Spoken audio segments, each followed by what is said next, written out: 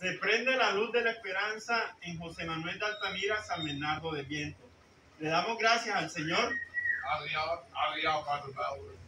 Adrián, De holand- de nacionalidad holandés, que regaló estos regalos para los niños de José Manuel de Altamira y que compró y aconseja comprar donde almacenes el gordo aquí en San Bernardo de Viento. Antemano, señor Adrián, que estamos muy agradecidos por su detalle a los niños de José Manuel. Con mucho gusto. Ok. Desfruta, niños. Hey.